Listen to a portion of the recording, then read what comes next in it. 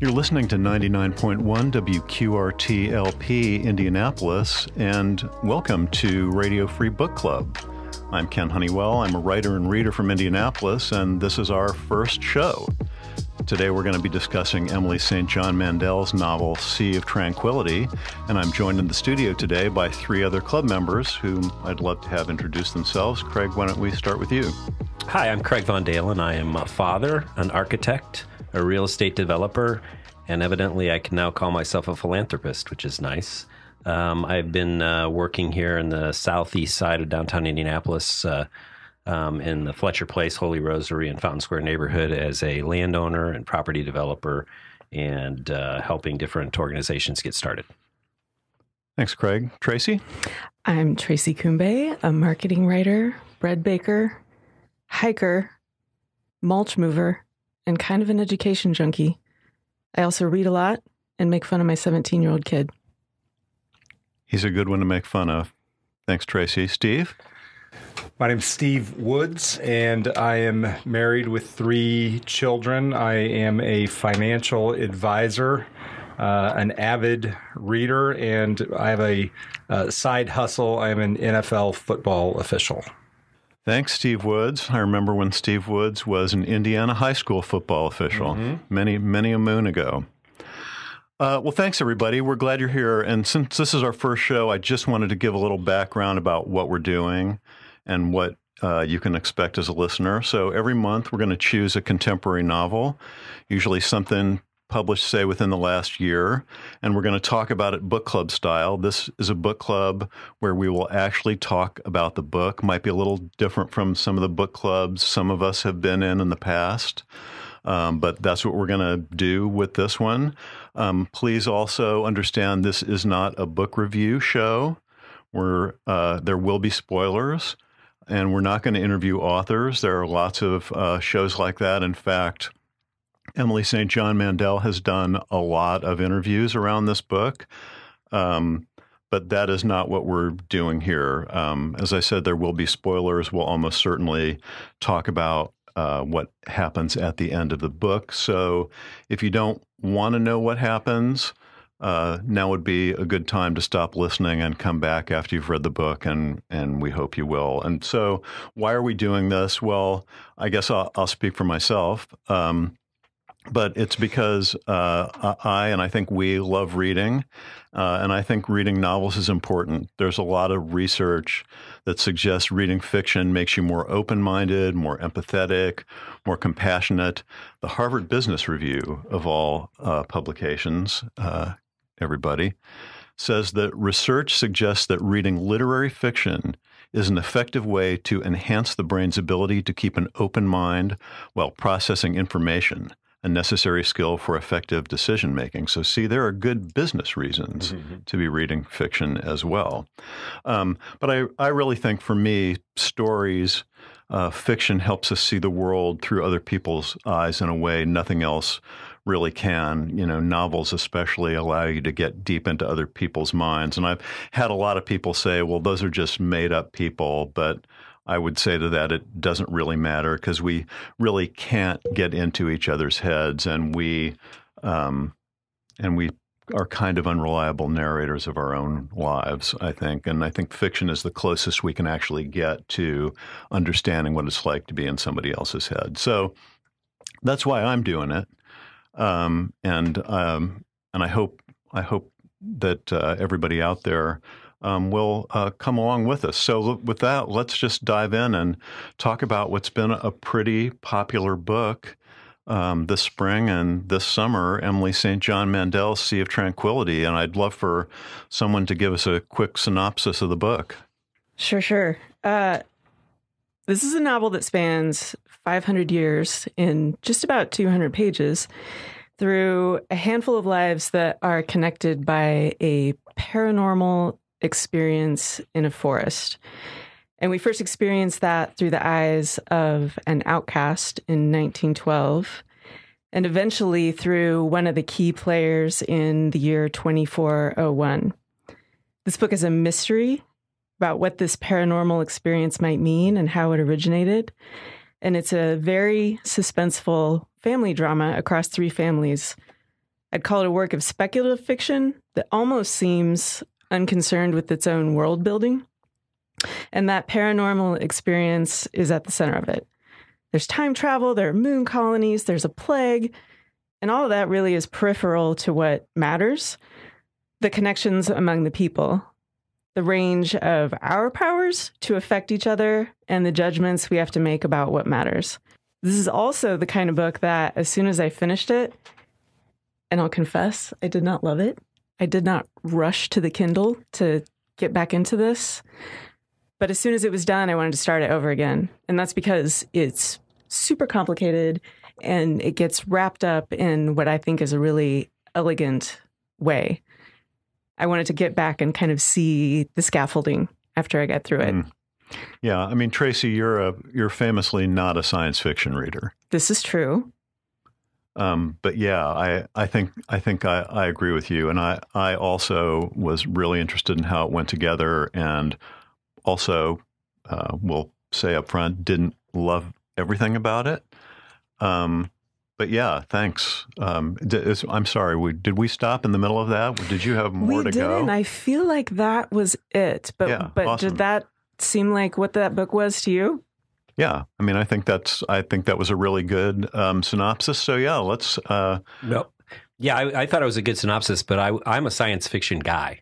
So if I read books, it's more than likely that if I, I it's a science fiction book. And I should have done in my introduction is I'm not a reader, and I'm doing this because I need to read more, and it's like a good impetus for me to read more. awesome. You're So- you're exactly the audience we're looking for, Perfect. Craig. And and but I read this as a science fiction novel, and I I, I liked it. Um, so um, I didn't find a lot of flaws in it. But what I what I found was I would read it and I'd put it down for a day or two, and then I'd pick it back up again and I'd start reading it and I'd go.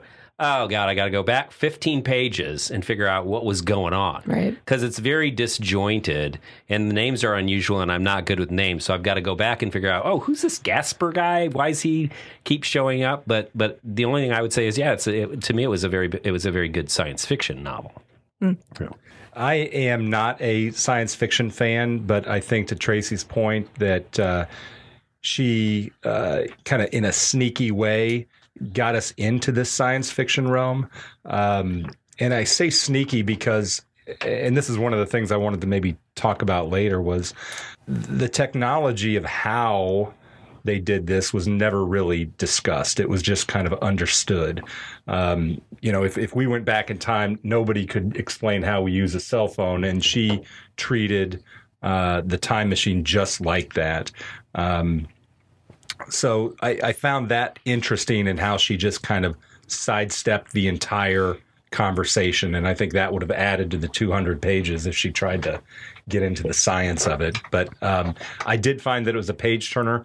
Uh, a, very good indication is if I'm thinking about it when I'm not reading it, if I'm excited to go to bed to read it, um, and that kind of checked all the boxes. Like the two of you, I I left with some concerns where I didn't love it, love it, um, but I really liked it. Yeah, I, I think I, I felt a lot the same, Steve. And I, I have to say I was a big fan of Station Eleven. I know I know Same here. uh, and I know Steve, you re- have read Station Eleven too, and I know Craig, you just started watching the the very good HBO adaptation. It, it really is very good, I think. Um, not as not as good as the book. Um, not not really surprised there, but a really nice adaptation. Um, and I thought the Glass Hotel, her next novel, was fabulous, and. Um, there, there was a little bit I didn't like about that, and we could maybe get into that a little bit. But um, and I, I know Tracy, you've read all three of those books. Steve, have you read The Glass Hotel? I'm reading it now. Oh, you're reading it Yeah. now. Um, obviously, there are some overlaps uh, among all three of those books. Really, there are recurring characters um, from, particularly from The Glass Hotel to um, Sea of Tranquility.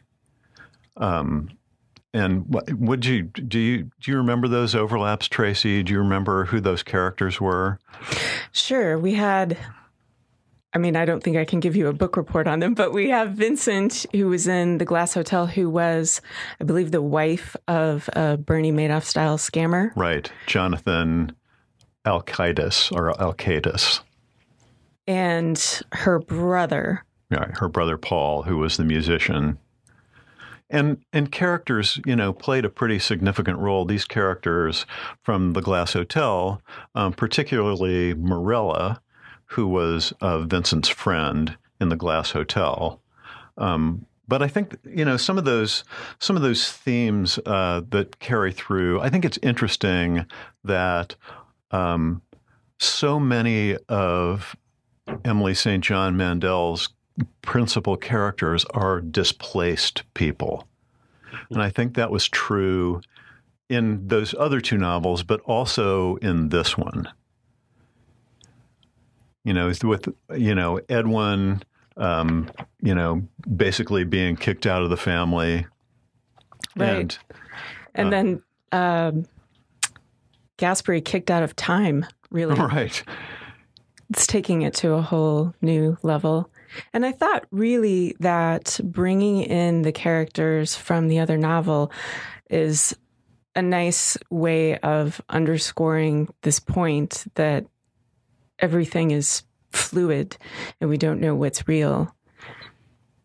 Yeah, it's also interesting that, you know, I think also consistent with this book, um, some of the, the characters' fates in the Glass Hotel were not the same as their fates in Sea of Tranquility. For example, um, Vincent's husband, Jonathan, went to prison in the Glass Hotel.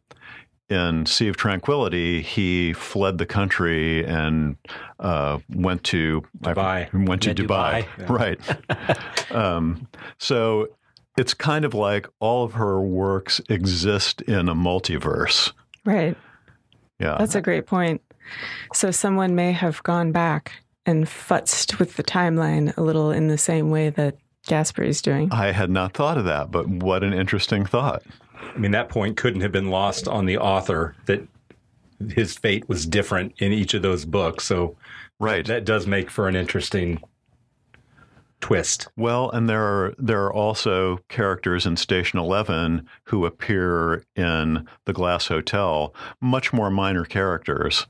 Actually, uh, Miranda, who was the creator of the comic book Station Eleven, um, she has a role in the Glass Hotel.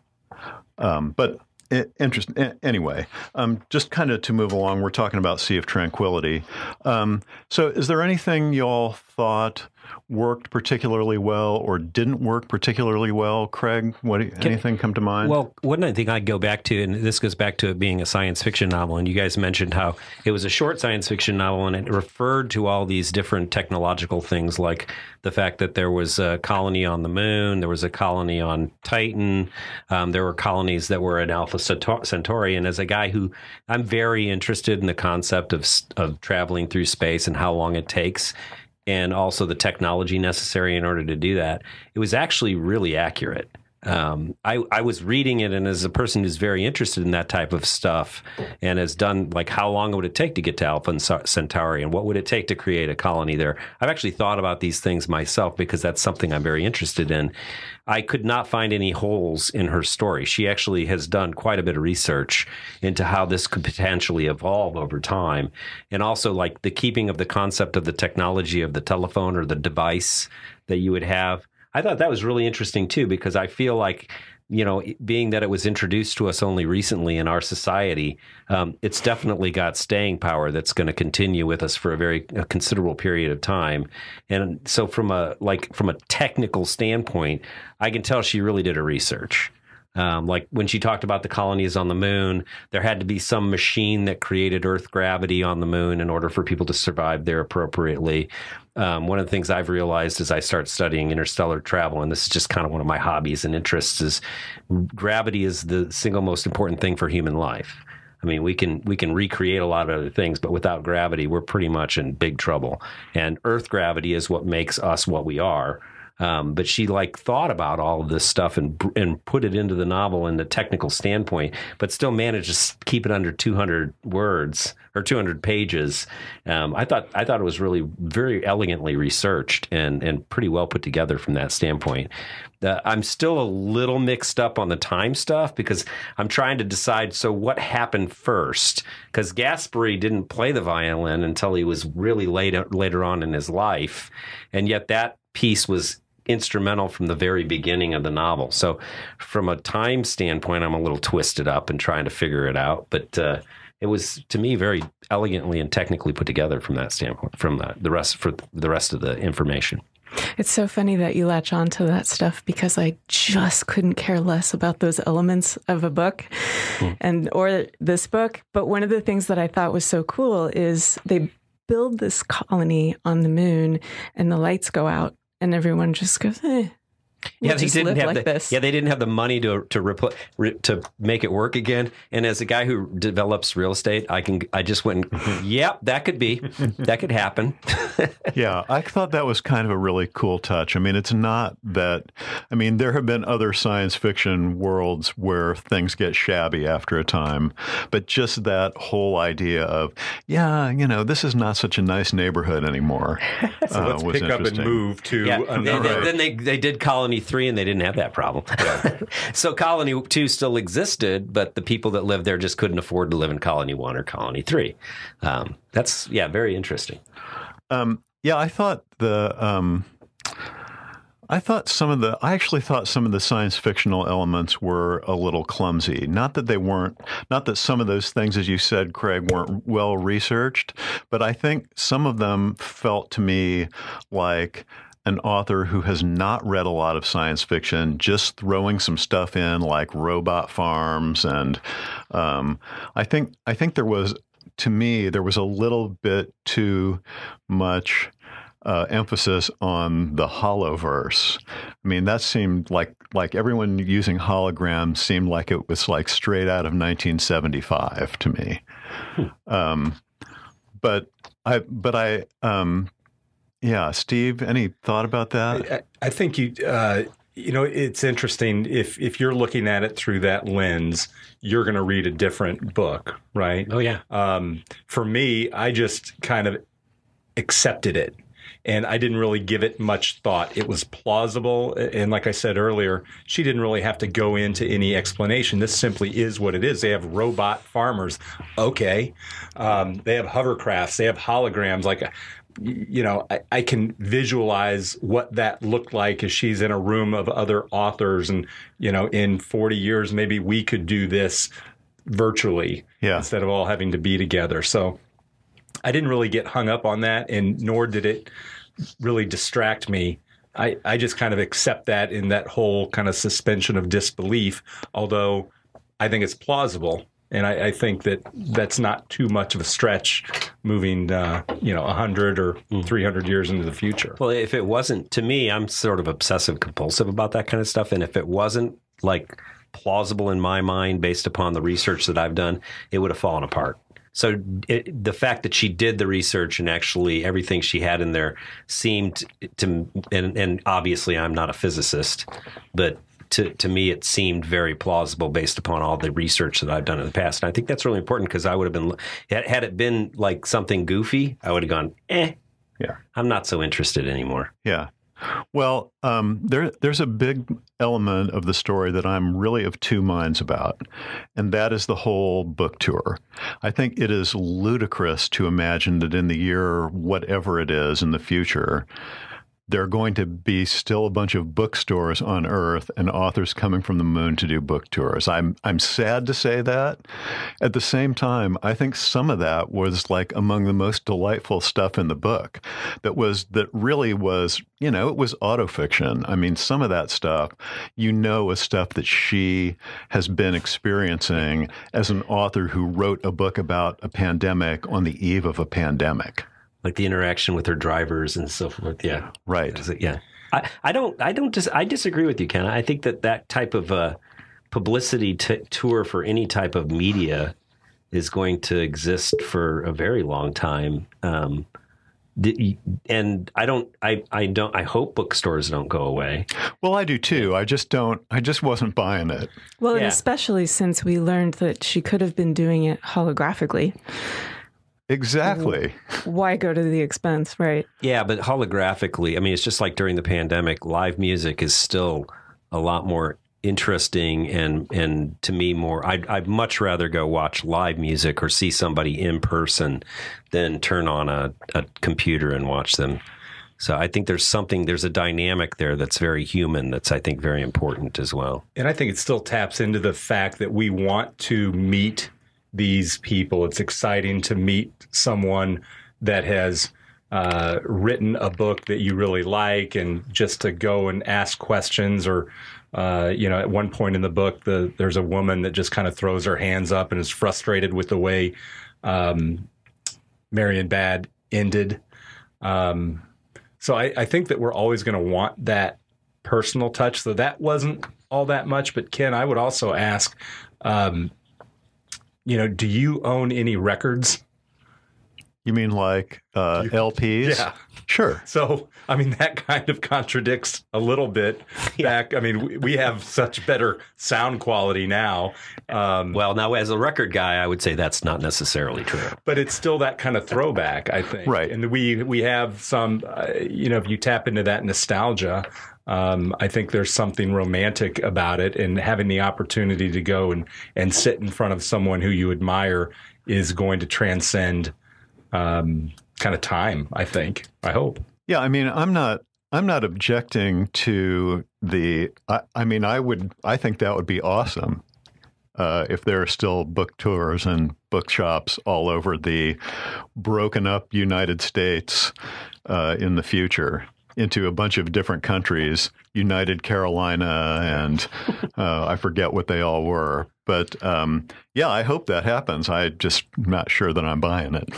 the city know- state of los angeles sorry a lot of a lot has been made of this autofiction element and typically i would say who cares it's not really our business how much of the fiction is real life.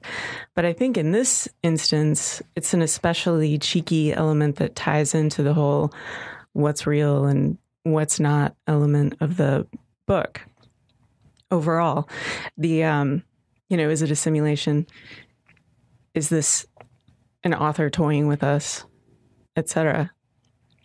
Yeah, I, I I don't disagree with you, and I and I loved a lot of it. I mean, I loved a lot of the interaction with the, you know, uh, someone who was interviewing her and asked her how many she'd sold, and she apologized for not having brought her royalty statements to the interview.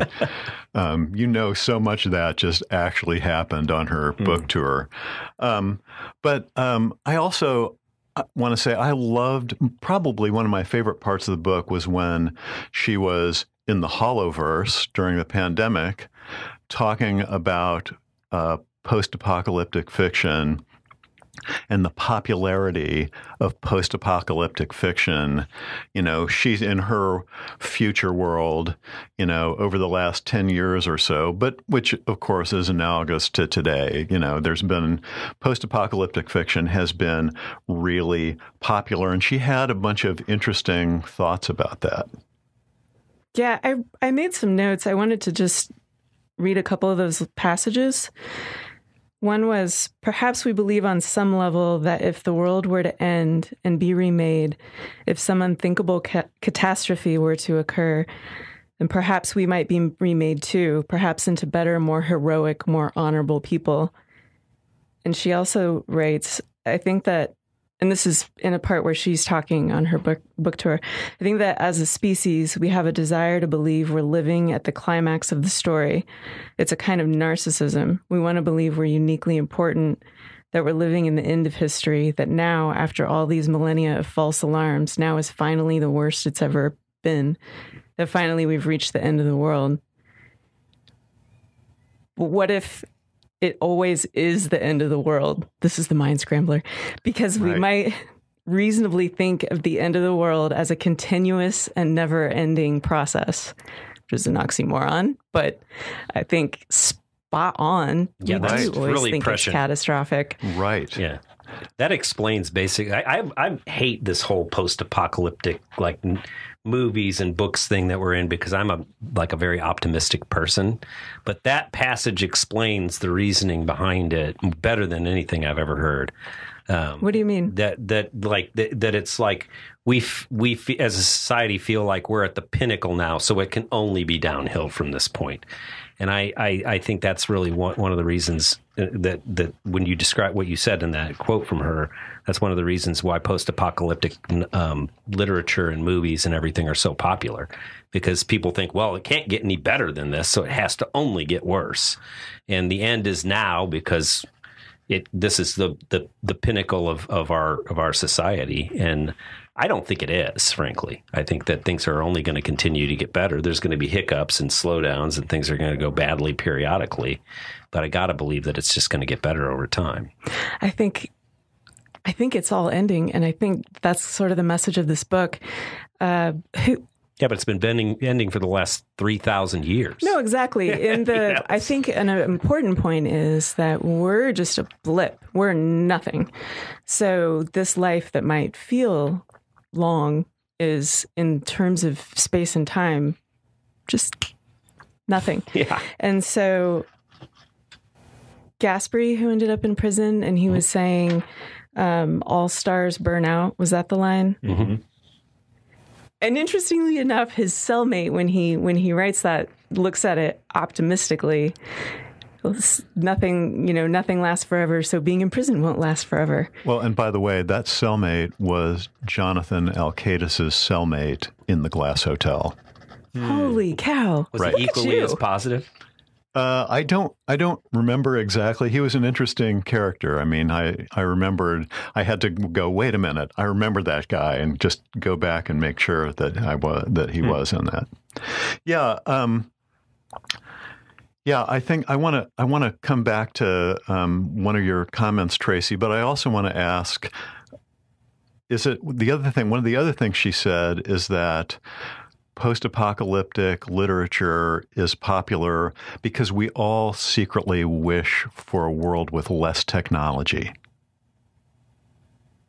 Any any reaction to that? That kind of that kind of felt kind of true to me. Oh, I, I, I would agree with that. I'm tired of it. I don't I don't want this thing with me all the time anymore. I love my technology. I, I don't I love it. I want it. I need I- it. Where do my best it? time in, the, in in of the day is when I get up in the morning and I leave this by my bed and I go out on my terrace and I sit there for 15 or 20 minutes and I don't even think about that. Um, I I think the reality is we all want that, but none of us are willing to give it up. that's probably And it. you talk to someone that's been on a vacation, like, oh, it's great. You know, I didn't look at my phone at all. I didn't have any worries. And, um, but at the end of the day, uh, these are literally on some people's hips, right? Um, and we are tethered to technology from how I got to this place with my IMAP app and, um, and um, talking on the phone as I was hands free, driving in the car. Um, I, I think we do want that. And I think to her point, maybe the only way we get there is with something awful happening to Yeah, return us to right. something that was once better. And, and maybe that's the point. If we're at this pinnacle, uh, I think historically we all look back to the good old days and when things were easier and and my kids you know when we were kids we just had to be at home when the lights turned on. And now you've got parents with the 360 app that can pinpoint the location of your child at, at any moment.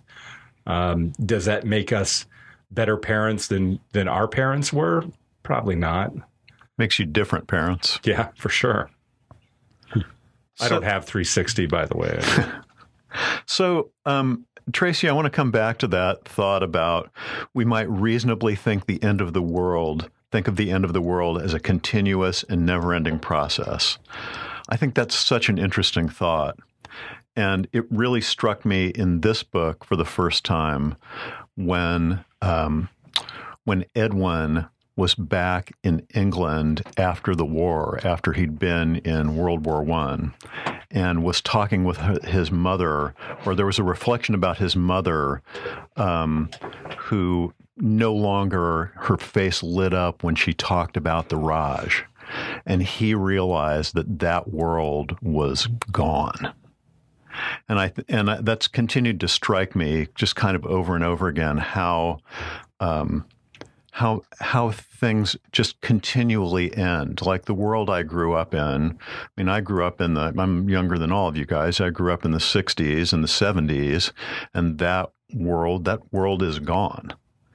Um, I just think that's a really interesting thought. It struck me more than once, just in reading other things, that that's it happens continually. Was that addressed to anybody? that's particular? not addressed to anyone in particular, okay. but if Go anybody ahead. wants to so, say anything, uh, that's a process that's been going on in human society for like twenty thousand years. I mean, the, the the Romans would dig up the antiquities of the Etruscans and go, "Wow, these people had indoor plumbing two thousand years ago." We dig up the Romans um, ruins and go, wow, these people had indoor plumbing 2,000 years ago. So it's just a constant, like we have societies get become prevalent and, and grow and then and develop technology. Um, the Greeks had computers. They found one in the Mediterranean, um, uh, the Mediterranean Sea about 70 years ago. They're still trying to understand it. Um, these things happen and then they, so societies grow up, they die, they grow up, they die. It's just an unending process. Um, that's why, like we, t- the the end is a process, and we may be in the be- in the beginning of the end, but they were probably in the beginning of the end four thousand years ago when the Etruscans were were the society of our of our planet. So it's just a ongoing process. Yeah, which makes her point all the more. Oh yeah, and we're a blip. Yeah, yeah. Then you think about like there are 150 million star systems in the solar system that we're in, the Milky Way. There are 500 million solar systems like the Milky Way that's a lot. and they're every, you know, we can't even, to travel to the nearest star that's near, which she mentioned the colonies of Alpha Centauri, takes, it's 4.3 million light years away. It would probably take us at speeds that we can actually understand 50 to 60 years to get there. That's just the nearest star to us. We can't even fathom the concept of going to another galaxy, which is millions of light years away. I mean, this, we are like literally nothing, both in the timeline of the Earth, but also in the, the universe that we actually exist in. It's, it's amazing how we have huge egos, but we're really nothing in, in the, in the grand scheme of things. Well, let's talk about that existence for a minute, or lack of existence. Um, uh, there's a, it's postulated in this book, it's a big part of the story that perhaps we're living in a simulation. Is there anything in the story that you think, I mean, really examined objectively, you think should convince characters that they were living in a simulation? And are we living in a simulation? And does it matter if we are? Well, it, I'm sorry, I'm going to inject again. I apologize, but uh, the the reality is, if you look at most religions, they would say that the human body is just a vessel for either the soul or the consciousness or anything like that. So we very well may be living in a, in a simulation, even within the context of our understanding it from a religion and philosophical standpoint. Um, but I will say this the math of that type of simulation is a math that we have yet to get even close to fathoming. Yeah, but I mean, is that, I mean, obviously, there, you know, the story centers around the anomaly, and we know ultimately what happened, what the anomaly was. The anomaly was Gaspery. Um, but does that mean we're living in a simulation, or is that, you know, possibly just evidence of the non linearity of time? I, I go ahead, Tracy. Is this one of those things that makes people read science fiction? Because I can't even stand to think about this. I mean, I'm here, I have headphones on, it feels real. That's good enough. Yeah, right. And I think that's what that's my question. Got right. to. Right. Does it really matter if we are? Yeah, I would say no. I don't know, Steve. What were you going to say? I was just going to say it reminded me of a couple things. One, uh, I, I think I had read in college about Wittgenstein with his brains in a vat theory. And uh, if if we get fact check, forgive me, but I think that he had said something to the effect of, if you can question your consciousness, it's not a simulation. because a simulation wouldn't allow that type of questioning. Now that you think about The Matrix, which is another um, franchise that, that delves into the simulation, and, and those characters at the beginning were literally in a vat of you know that gel that Neo came out of. Uh, Morpheus would just have said that part of his questioning was baked into the simulation. So it it really uh, can be explained away on both sides. And I heard uh, the author talk in a podcast about how she's read very intelligent people that can argue both sides. So, um, you know, for me, it didn't really um, hit like it was a simulation. I just didn't. I just didn't buy that. Yeah, I'm not. Yeah, I would guess ultimately, I don't even think it matters to the story. I'm not even sure. I, I'm not even sure it was worth even bringing into the story. I think the time travel and the anomaly was enough, and the way it got wrapped Agreed. up was probably enough. I totally agree. Yeah, the author the author brought it in. I mean, Yeah. she she basically. But I think that the concept would be that it would be a lot more subtle than than the Matrix concept of you're in a vat and they just create a world for you to live in. It seems like it's a lot more like um, the 21 grams thing of that you've got something inside of you that is not attached to your body that when you die goes somewhere else. So and then that that's the simulation concept of where does it go? and then what happens and what th- is this just a simulation that's been created by a, mar- a far more intelligent entity that we occupy um, i think her concept is far more like deep than than the vat of the than the matrix matrix concept um, But you know what was so great for me in this book? There's all this time travel, and there's Gaspery stressing out about whether he is going to intervene or not intervene, and taking action. And in in one case, he does have an effect by intervening, and in another case, all he does is change a person's time of death by about 48 hours. Right, but I get here's what I want to know about that, Tracy. Why did he? Because the war really screwed up Edwin. He knew we knew that was going to happen. Gaspery knew that was going to happen. Why did he not go back even further and tell Edwin not to go to war? I mean, if he was really going to affect people's lives like he did Olive's for a reason, I, I think ultimately what bugged me the most about the book was it seemed too easy for him to just kind of, you know, decide he was going to save Olive's life. And then there really weren't repercussions for that. He had been warned endlessly about the repercussions of futzing with the timeline, and then he did it, and he basically got a slap on the wrist and got sent back out again. Yeah, he did it just too easily, I thought. I just I just didn't buy it. I mean, I get, I guess that's a question. Could you could could anyone in this room uh, you know, resist messing with the timeline, messing I mean, Absolutely not. you couldn't Oh, resist would- doing it? Yeah. No, I would be tinkering left and right.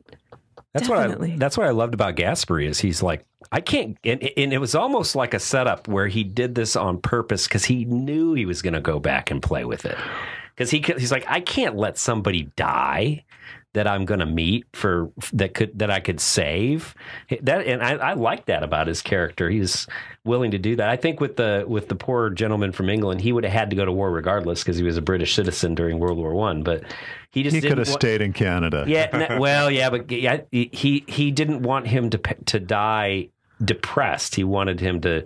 He knew he was going to die, but not depressed and not in such a horrible state. Yeah. Well, why do you think it was so hard to find people who wanted to time travel? That was one thing that was kind of bugging me was like, wouldn't you want to time travel? Well, because they had to find people that wouldn't tinker. I mean, because all of us said, "Well, I would go back and fix something." yeah. You know? I thought it was clumsy that uh, that the one guy um, who recruited who was what was the guy's name who recruited Gaspery Yeah, I don't remember. Um, Ephraim. Ephraim Yeah. that he had a quota. He was behind in his quota. That's why you know he embraced Gaspery. Well, that's why they fast tracked him. Right. They fast tracked him, but the fast track was like five years. Right. Right. Wasn't this an interesting enough problem that they had someone who like could go like next week? and you've got this institution, this time institute that is shrouded in secrecy, and this kind of bumbling uh, security uh, worker at a hotel gets his way into this and suddenly becomes an agent of change. That part was a little um, frustrating for me. I just didn't buy the fact that just because he really wanted to, that he could do it. I mean, maybe he knew too much and that's why they let him in, or because Ephraim needed to hit his quota. Well, plus he- also had that time traveling cat that I- his sister gave him. I think Zoe planned it from the very beginning. That you you might I think I think it was her plan. For, she she even says in the book she was the best. She was the one Right. person that I think she planned the whole thing from the very beginning to save Llewellyn. Yeah, that's interesting. Yeah. But by the way, that brings up the biggest problem I had with this book was time travel. I hate time travel.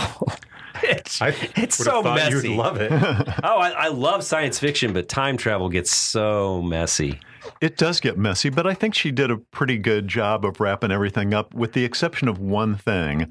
I don't know why uh, Mirella had to be involved at the murder scene in Ohio. That did not make even a little bit of sense to me. Oh, you know, they could have completely avoided that weirdness. Right. That was like just that extra dash of salt. Like, nope, too much, too far. Right. So, so I have one last question, uh, and then um, we're going to have to kind of close. And that's, you know, at the end, Gaspery is thinking about time. He's in his new life. He's realized that he is the anomaly. Um, and the last line is um, he's thinking about being a still point in a ceaseless rush. Is that, what do you think about that as the ending of the book? And is that a fitting ending? What does that mean to you? Is it the maturity that he has now come out on the other side and realizes that that's the only kind of explanation uh, to to what he's experienced? Because basically, he went through time and kind of screwed up a bunch of stuff. I, I Right. kind of thought about. Uh, I've always hated Curious George, and he created his own problem and then solves it, and at the end uh, comes out with this, um, you know, kind of understanding of what time and his place in it is all about. But um, he made his own bed with all of that, and and that part is a little frustrating. I thought in, in reading it, and I, I just kind of thought of Curious George in that respect. Honestly, this book has so much movement in it from moon to earth and century to century that getting to the end with a line about stillness was very confusing to me. I really don't know what to make of that. Yeah. Craig, any thought? Super aspirational. I mean, that's where I want to be. I mean, at my point in my life right now, that's where I, want to be a still point in a Yeah. rush. I, just hang out. Hopefully, my kids come to me for advice. Yeah. Well, I'm supposed to listen be retiring, and so you would think that would be, um, yeah, I, I, that's a very attractive idea to me. So, just uh, what do you guys think? Good book? Recommend it? Think others should read it? I would- Tracy? I would point people to Station 11 first. I, I, that book is so compelling and has really stuck with me. And this one, I think probably after I leave here, I won't think about again. Yeah. Craig, what do you think? I liked it. I mean, I'm, I, I found it. Um, I didn't know what to think when I started because I started reading. I'm like, this is really disjointed and confusing. But as I started getting into it and start, and the story started coming together, I started to really like it. And I mean, I, I literally read the last, the half of the book in probably a day or two days. Yeah. So I, I, I started to enjoy it. Yeah. Steve Woods, what do you think? I think a, a beach read. I Yeah. think it, It's- it's, yeah. a page turner. Uh, it keeps your attention. It's it's not very long, and you can rip through it, and and you know you come up with some questions, whether you like it or not, and it's thought provoking. Yeah. Yeah, I, and I'll I'll just say I agree with Tracy. I I would suggest if you're going to read it, read Station Eleven, and then read The Glass Hotel, and then read this. That's probably, um, that's probably the best. And those novels go in descending quality for me. I think Station Eleven is great, and I think The Glass Hotel is really really good. And this one was fun read. Okay, well, before we go, uh, let's do a quick round of recommendations. What else you reading, and what else? Um, what would you recommend, uh, Craig Von Dalen? I'm not the reader, but I have been reading a lot of books on um, social equity, um, and I find them very interesting. And basically, the history of race relations in the United States of America. And, um, not not it's very like intellectual things, but but not uh, not not entertaining. As far as like what I like to read when it comes to science fiction, I really enjoyed when I was younger, and I still do the works from from Isaac Asimov. Um, I think his work is is pretty fantastic. Unfortunately, very difficult to translate into uh, um, a more popular medium, which is uh, movies and television. Yeah, I know Apple made uh, Yeah, it was terrible. Foundation. I didn't It was- watch it. was yeah, terrible. yeah. Um, so, um, but yeah, I, I'm kind of looking forward to hopefully you give us another book to read because it gives me something to do. Yeah. Laurel gives me books all the time, and I read. yeah. Good for Laurel. Yeah, so Tracy Kumbe, what do you got? Listen, the best thing happened last week. Somebody sent me a poem by a poet I'd never heard of. I don't actually read a ton of poetry, but it's Ada Limon. Hmm. And she has several collections. I have read so far one called Bright Dead Things, and her latest is The Hurting Kind, which I'm reading now. And these poems, man, there she has a very sharp and dark outlook, I think. And these poems are her through that looking for beauty. And it's the it's just the coolest. They they get right into my gut. Yeah, awesome. That sounds great. Steve Woods. I think um, I always love sharing uh, recommendations because I think it, it carries a lot of weight. So you've got to, if you're going to make a recommendation, you're going to get judged on this. Um, and this is also one of my favorite questions to ask smart people because that's a great way to find books. Um, but I would stake my life on Amor Towles' The Lincoln Highways. That's probably the, the book that I've been recommending the most. And Gentleman in Moscow was also very, very good. But The Lincoln Highways was uh, the last great book that I read that I really enjoyed. Yeah, great recommendation. Um, well, I for myself, this all this talk about post-apocalyptic novels made me think of a book um, that I I've cited frequently as my favorite novel of all time, and that is John Crowley's slim little novel called Engine Summer. It was published in 1979, and it's a really beautiful kind of pastoral post-apocalyptic world. Kind of I like, you know, kind of maybe you know, per our discussion, that kind of world that we might hope for if we want to blow things up and see if we can become better people. Um, it, it's really it's really a beautiful book. It's kind of about a boy who goes on a quest to find a lost love and maybe discover the secrets of the angels, which is how these people refer to whoever came before them and left all these artifacts that they just don't know what they are. Like in the book. Um, the boy's father, uh, they find something that is called road, and the boy asks what it was for, and the father says to kill people.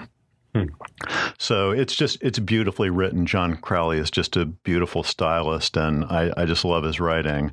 And the book can be a little hard to find. It's most probably most readily available in a in a compilation of three novels by John Crowley with a, a couple of his other novels. But yeah, Engine Summer uh, is really a beautiful, haunting book. And if you like post apocalyptic fiction at all, I would I would really recommend it. Craig Von Dalen. And- interesting that the road is a thing to. I mean, that's what the Romans developed roads for was to move their armies. So you're he was right. Yeah. Um, well, thanks everybody. Uh, this has been really fun. Um, that's it for our first edition of Radio Free Book Club. Um, thanks to Craig Von Dalen, Tracy Kumbe, Steve Woods, and I'm Ken Honeywell. And we hope you'll join us again next month uh, when we're going to discuss another of this year's big novels, uh, Jennifer Egan's The Candy House. oh my gosh, I can't wait. Yeah, um, yeah. Look for us. Uh, we're going to have a blog on Medium, so look for Radio Free Book Club on Medium. Um, and thanks to our friends at WQRT uh, for uh, letting us do this. Uh, so we'll see you next month, and until then, go read a book.